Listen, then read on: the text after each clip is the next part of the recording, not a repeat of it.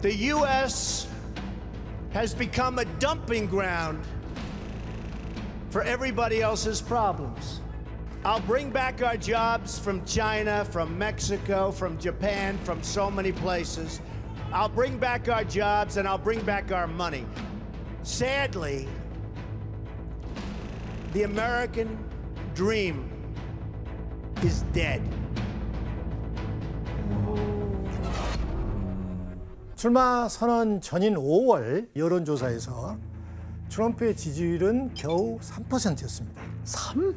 그런데 출마 선언 이후 지지율이 12%로 상승하게 됩니다. 트럼프가 대선 출마 선언 때 한 강경 발언이 보수층의 지지를 이끌어낸 결과라고 분석을 합니다. 와. 그리고 2015년 11월 국제사회를 뒤흔든 충격적인 한 사건이 터지면서 트럼프의 지지율에 또 한 번 영향을 미치게 됩니다. 프랑스 파리 여섯 곳에서 벌어진 동시다발적 테러로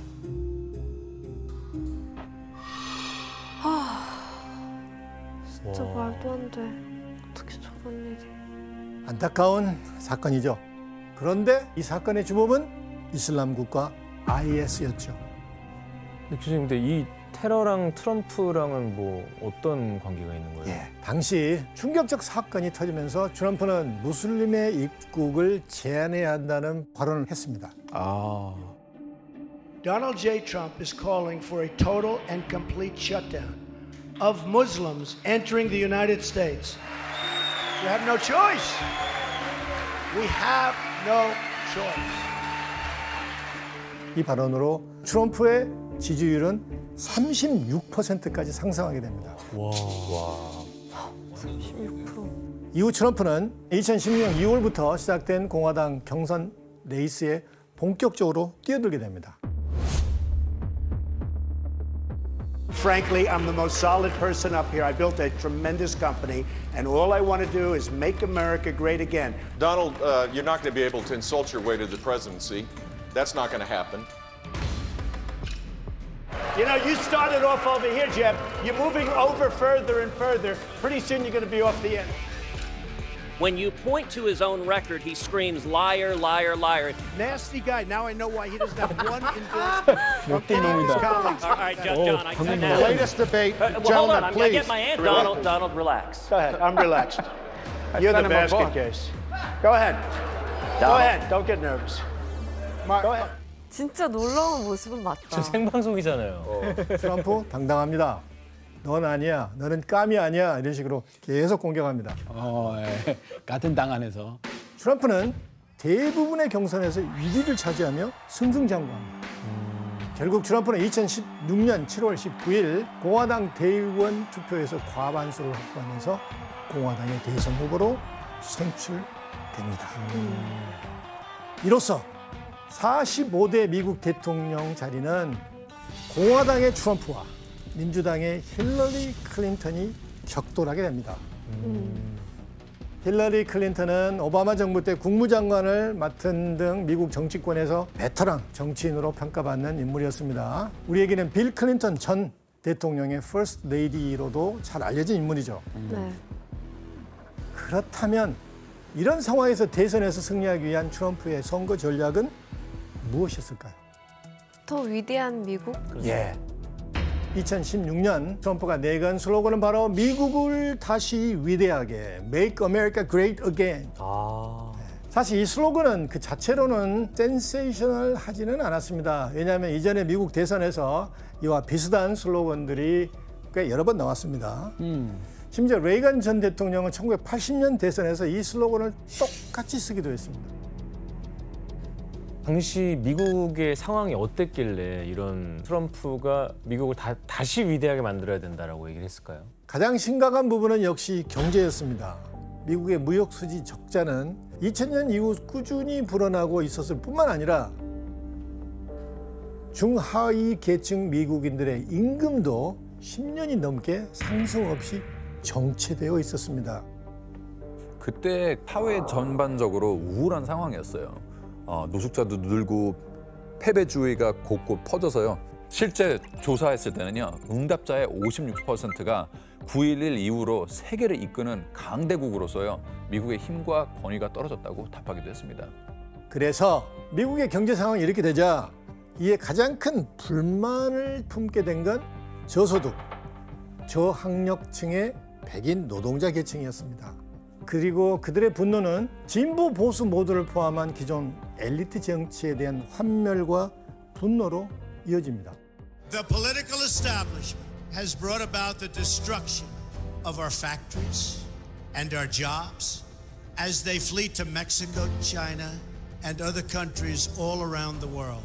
It's a global power structure that is responsible for the economic decisions that have robbed our working class, stripped our country of its wealth, and put that money into the pockets of a handful of large corporations and political entities. The only thing that can stop this corrupt machine is you. 그리고 이런 위기에 빠진 미국을 구할 수 있는 사람은 오직 자신뿐임을 강조합니다. 그리고 트럼프는 블루 칼라 백인 유권자들을 결집시킵니다. 와. 그렇다면 트럼프의 두 번째 선거 전략은 무엇일까요? 바로 미디어를 적극적으로 활용해 계속해서 이슈를 생산하는 거였습니다. 트럼프에겐 강력한 무기가 있습니다. 와. 이 만평은 2016년 7월 18일 뉴욕타임즈에 실린 만평인데 트럼프의 집무실에 트위터 버튼과 핵폭발 버튼이 나란히 놓여 있죠. 옆에서 이를 지켜보는 참모진이 아, 겁에 질려. 있죠. 또뭐 트럼프가? 뭔 트럼프가 트위터로 내뱉는 말들이 핵무기와 비슷할 정도로 위험하다는 의미를 담고 있는 만평이죠. 엄청 자주 올리지 않았어요? 예, 거의 중독에 가까울 맞아. 정도로 트위터에. 많은 말들을 쏟아냈죠. 트럼프는 2015년 6월 16일부터 대선 기간 동안 7,697번 글을 올렸다고 합니다. 그 정도? 와. 진짜 열심히 하셨다. 그렇다면 트럼프는 실제로 트위터를 통해 어떤 말들을 했을까 해보겠습니다. 끔찍한- 난리 네. 난다 이제 난리 나. 왜 왜? 뭐 어디까지 얼마나 했길래?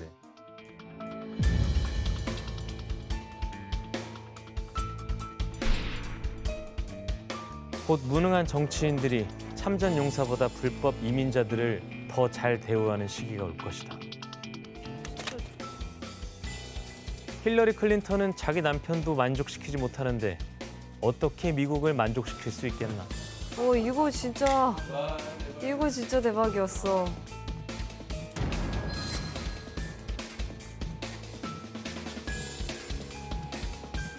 마지막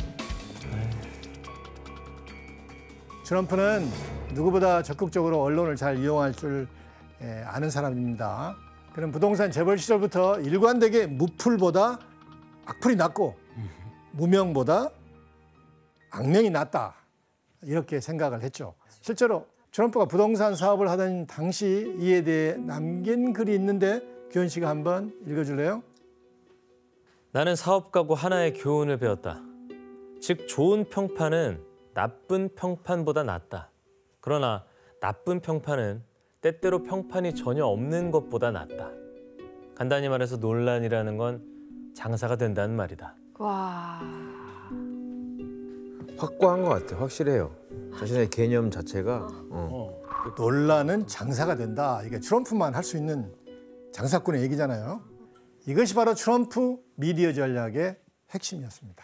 트럼프는 비싼 정치 광고를 내지 않더라도 미디어가 원하는 논란거리를 제공하면 돈 한 푼 쓰지 않고 나를 홍보할 수 있다고 말을 해왔습니다.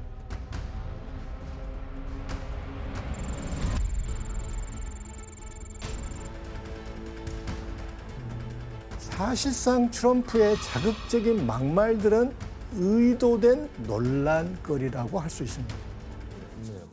트럼프가 남기는 트위터의 글들은 자칫 그 힘을 발휘합니다.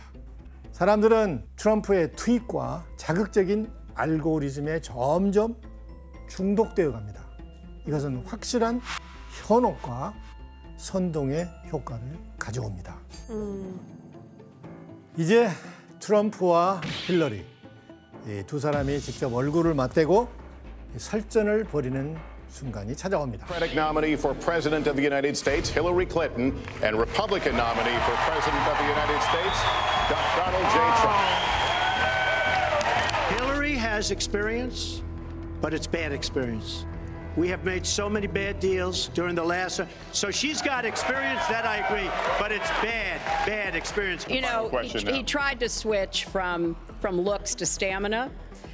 But this is a man who has called women pigs, slobs, and dogs.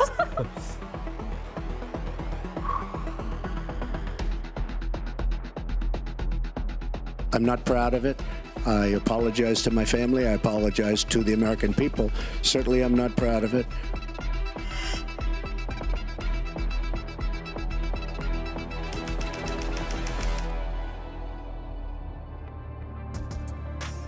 I moved on her and I failed. I'll admit it. Whoa. I did try and her. She was married.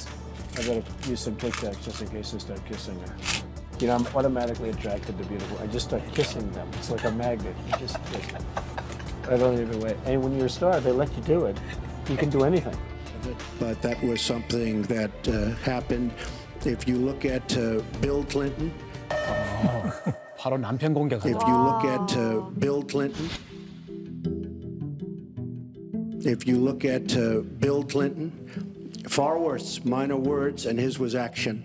His was what he's done to women. There's never been anybody in the history of politics. so don't tell me about words. I am absolutely, I apologize for those words. If this were just about one video, maybe what he's saying tonight would be understandable. But everyone can draw their own conclusions at this point about whether or not the man in the video or the man on the stage respects women.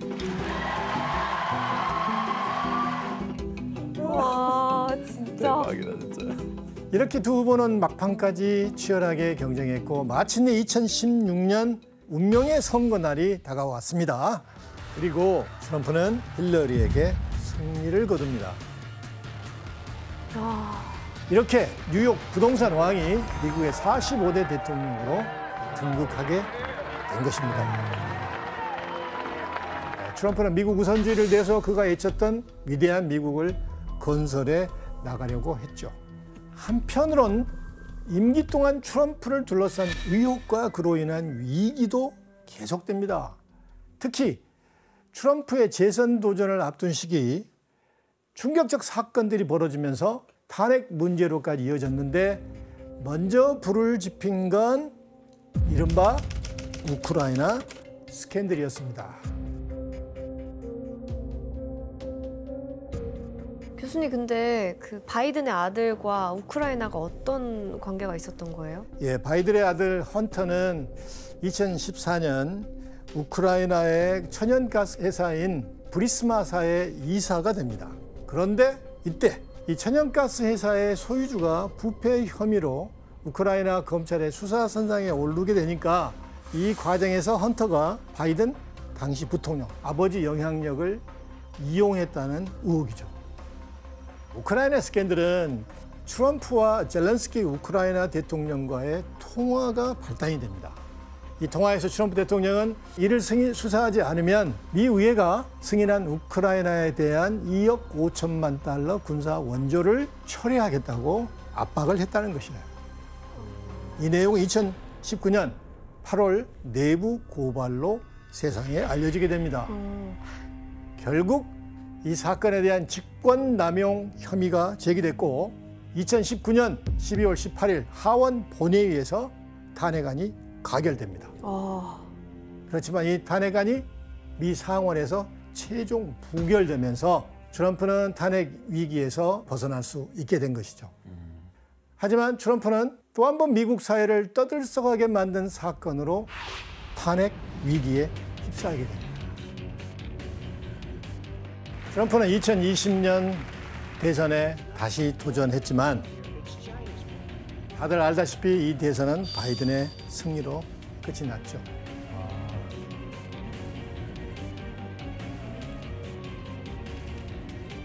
그런데 트럼프는 2021년 1월 6일 바이든의 당선 인증 절차를 저지하기 위해 연설에서 자신의 지지자들을 향해서 우리는 의사당으로 걸어 나갈 것입니다.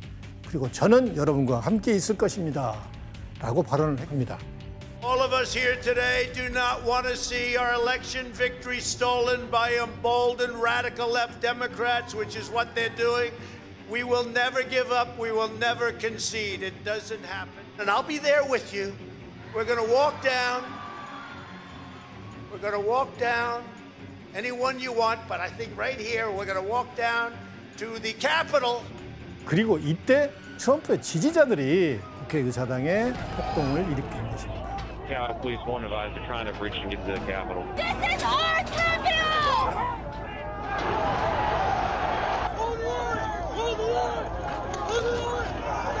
We have a breach of the Capitol! Breach of the Capitol to the upper level!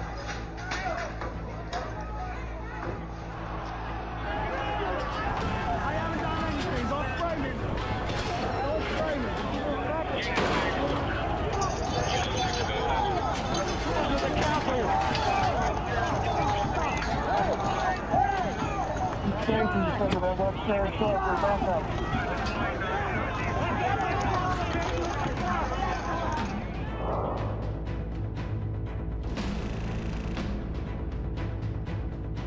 결국 그로 인해 다섯 명의 사상자까지 생겼던 끔찍한 에, 사건이었죠. 미국에서 이런 일이 있었다는 게 상상이 됩니까? 아, 창피해요. 이 사건으로 트럼프의 임기 만료가 일주일 남은 상황에서 탄핵 소추가 이루어집니다. 미 하원은 트럼프에 대한 내란 선동 혐의를 적용했는데 이 사건의 배후에 트럼프가 있다는 것을 지목을 하죠. 이에 트럼프에 대한 탄핵 절차를 밟지만 이번에도 탄핵안은 상원에서 부결됩니다. The motion is agreed to. The Senate, sitting as a court of impeachment, stands adjourned, sine die. 그렇게 두 차례의 탄핵 위기는 넘겼지만 결국 트럼프는 임기 중 두 번이나 하원에서 탄핵 소추를 당한 첫 번째 대통령으로 기록되게 됩니다. 교수님 근데 최근에도 뭐 트럼프 기소를 비롯해서 끊임없이 기사가 나오고 있잖아요. 예. 지난 2023년 3월 30일 트럼프는 또 불명예스러운 최초의 기록을 달성합니다. 뭐야? 도널드 트럼프 전 미국 대통령이 회사 돈을 써서 성추문을 막으려 했다는 의혹과 관련해서 검찰에 기소가 됐습니다. 도널드 트럼프 전 대통령이 기소된 것은 성인 영화 배우와의 성추문 때문입니다. 트럼프는 성추문을 폭로하겠다는 여배우의 입을 막기 위해 먼저 개인 변호사를 시켜 13만 달러를 주도록 했습니다. 그런 다음 자신의 회사가 변호사에게 13만 달러를 갚도록 한 뒤 이를 법률 자문 비용으로 장부에 기재해 회계 장부를 조작했다는 겁니다. 트럼프를 기소한 뉴욕 맨하튼 지방 검찰이 공표한 트럼프의 혐의는 총 34건입니다.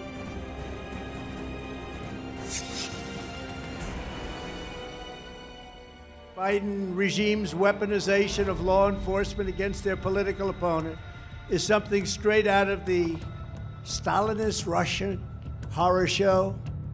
이에 대해 트럼프는 혐의를 전면 부인하고 있습니다. 하지만 최근까지도 트럼프의 또 다른 성추행 의혹과 그에 따른 재판이 열리는 등 그를 둘러싼 논란은 계속되고 있습니다. 도널드 트럼프 전 미국 대통령은 이번엔 백악관 기밀 문서 유출 의혹과 관련해 또다시 재판에 넘겨졌다는 소식입니다.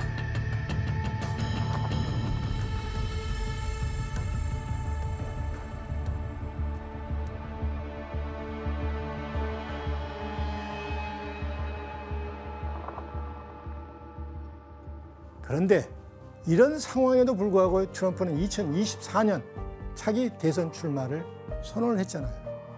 공화당의 유력한 대권 후보가 될 것으로 예상이 됩니다. 미국을 위대하게 만들겠다던 트럼프가 다시 한번 귀환을 준비하고 있는 거예요. 그렇다면 트럼프는 다시 미국인들의 선택을 받을 수 있을까? 그 결과는 아직 미지수이지만 우리도 흥미롭게 지켜봐야 할 것 같습니다.